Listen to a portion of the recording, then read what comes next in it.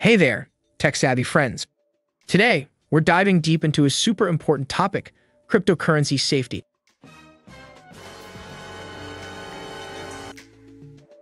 In the digital world, cryptocurrencies are basically the equivalent of treasure. And just like you wouldn't leave your wallet lying around in a public place, you've got to safeguard your digital wallet. Now, let's get real. Cryptocurrency is a game changer. It's transforming everything from the way we shop to how we access information. But with great power comes great responsibility. We're focusing on the self-custody aspect of cryptocurrencies today. This means managing your own private keys rather than giving them to a third party or centralized exchange. It's all about embracing the principles of decentralization and financial sovereignty. Private keys are basically the digital equivalent of your signature. Without your signature, no transactions can be made from your bank account, right? Similarly, without your private key, you can't access or manage your cryptocurrencies. Unfortunately, the digital world is filled with threats like hacking, phishing attacks, and unauthorized access. Centralized exchanges may seem user-friendly and convenient, but they are prime targets for hackers. Stick with me, and by the end of this, you'll be equipped with the knowledge and tools to ensure your digital treasure remains secure, and most importantly, yours. All right, let's talk about self-custody. What is it? Simply put, it's the practice of managing your own private keys rather than giving them to someone else or a centralized exchange. Remember, with great power comes great. You know the rest. If your funds are in your own wallet and not at the bank, it means the bank can't get hacked, but you can. Just like if your physical wallet gets snatched from your pocket, it's on you. Now, what are private keys? They are unique cryptographic keys required to access and manage your cryptocurrency holdings. Think of it as the digital equivalent of your house key. Private keys can be represented in different forms, like a series of 12 or 24 random words, a string of numbers and letters, or a QR code. Losing your private keys is like losing a wallet full of cash and cards, but without a bank to call to have your cards canceled or recover your lost funds.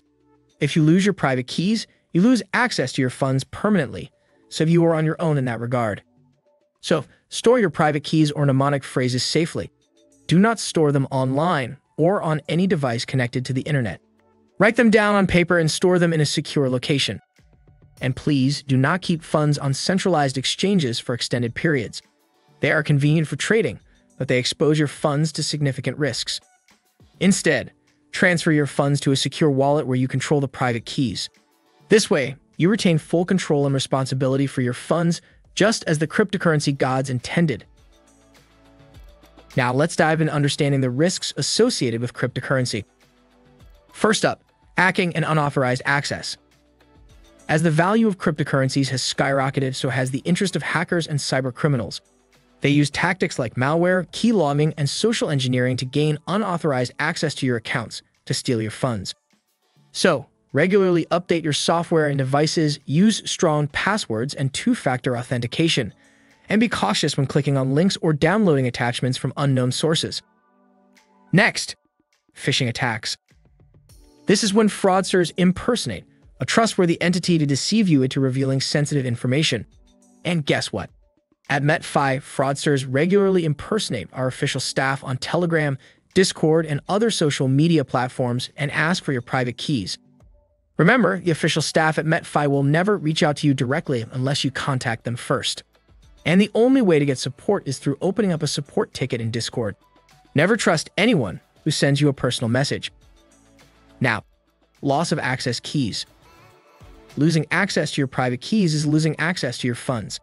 There's no way to recover lost private keys in the world of cryptocurrency. So, have multiple backups of your private keys or mnemonic phrases stored in secure and separate locations and have a contingency plan in place, like sharing a copy of your keys with a trusted family member or using a multi-signature wallet. Lastly, exchange failures. Centralized exchanges are prone to technical and financial failures. There have been cases where exchanges have gone bankrupt or have been shut down by regulatory authorities, leading to the permanent loss of funds for users. So, only use centralized exchanges for trading, and when you're done trading, transfer your funds to a secure wallet where you control the private keys as soon as possible. By doing so, you retain full control and responsibility for your funds and mitigate the risk associated with exchange failures. Stay informed, stay vigilant, and most importantly, stay safe out there. Let's now talk about securing your wallet.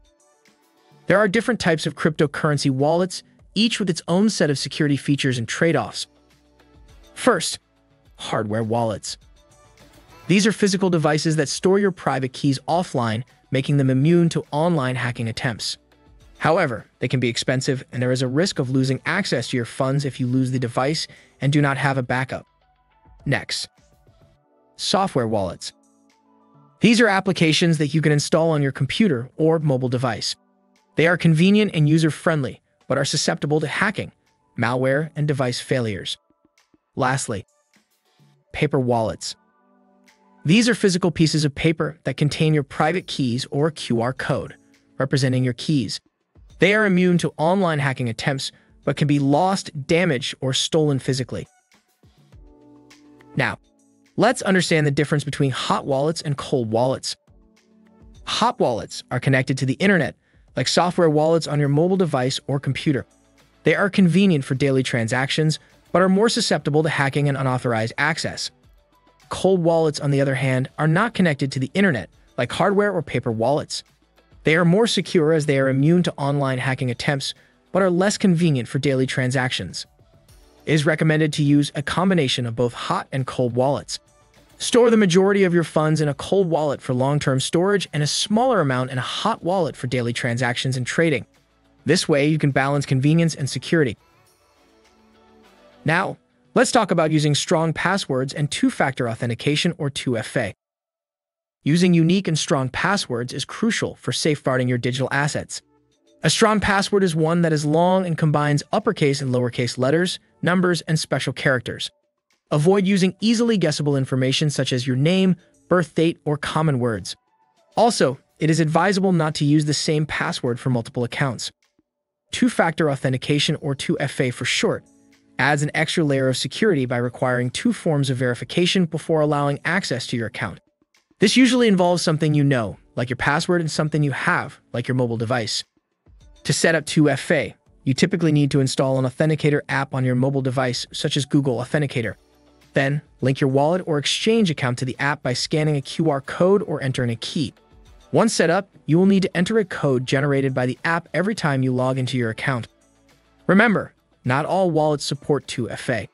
Be sure to check the features of your wallet and enable 2FA if it is available. By following these best practices, you can improve the safety and security of your digital assets. Phishing attempts are becoming increasingly sophisticated and can often appear very convincing. It's important to be vigilant and cautious of any communication requesting sensitive information. How to recognize phishing attempts. First up, unexpected requests. Be wary of unsolicited requests for sensitive information such as private keys, passwords, or personal details. Next is misspelled URL. Check the URL carefully to ensure is the official site and not a misspelled version designed to trick you. Next, generic greetings. Phishing emails often use generic greetings like Dear User instead of your name. Then, urgency. Fraudsters often create a sense of urgency, such as warning that your account will be closed unless you take immediate action. Last one, suspicious attachments or links. Be cautious of emails with attachments or links, especially if you did not expect to receive them. What to do if you suspect a phishing attempt? Firstly, do not respond. Do not provide any information or click on any links or attachments. Verify. If the communication appears to be from a legitimate organization, contact them directly using their official website or phone number to verify the request. With MetFi, you can join our official Telegram or Discord chat and ask questions, but be wary not to respond to anyone sending you a personal message directly afterward. The official links are in the description below. And while you're down there, don't forget to like and subscribe. Next, report the phishing attempt to the Anti-Phishing Working Group APWG. Also, immediately report it in our social media groups. Secure your accounts. If you believe you may have fallen victim to a phishing attack, immediately change your passwords and enable 2FA on all your accounts. Remember, legitimate organizations will never ask for your private keys or passwords via email, phone, or text message. Always be cautious and double check the authenticity of any communication requesting sensitive information. By being vigilant and taking proactive measures, you can protect yourself from falling victim to phishing attempts. Keep software devices updated. Keeping your devices and software updated is crucial for maintaining the security of your digital assets. Software updates often include patches for known vulnerabilities that hackers can exploit to gain unauthorized access to your device and subsequently, your cryptocurrency wallet. How to regularly update your devices and software. Enable automatic updates. Most operating systems and software applications offer the option to enable automatic updates. Make sure this feature is turned on. Regularly check for updates. Even with automatic updates enabled, it's a good practice to manually check for updates regularly, as some updates may require manual installation. Use official sources. Always download updates from official sources or trusted app stores to avoid installing malicious software. By keeping your devices and software updated, you reduce the risk of becoming a victim of hacking and unauthorized access. Remember, the security of your digital assets is in your hands. Regularly back up your wallet and keys. Having a backup of your wallet and keys is essential to ensure you do not lose access to your funds in case of device failure, theft, or other unforeseen circumstances. How to back up your wallet and keys. Backup mnemonic phrase. Most modern cryptocurrency wallets generate a mnemonic phrase, a series of 12 or 24 words which is essentially a human-readable version of your private key. Write down this phrase and store it in a safe and secure location backup private keys. If your wallet does not use a mnemonic phrase, you will need to back up your private keys. These keys should be stored in a secure location separate from your wallet. Use multiple formats. Consider having backups in multiple formats, such as paper, USB drive, or encrypted cloud storage. This way, if one backup fails or gets damaged, you have others to fall back on. Store backups in different locations. Do not store all your backups in one place. For example, have one backup at home, another in a bank safety deposit box, and another in a secure online location.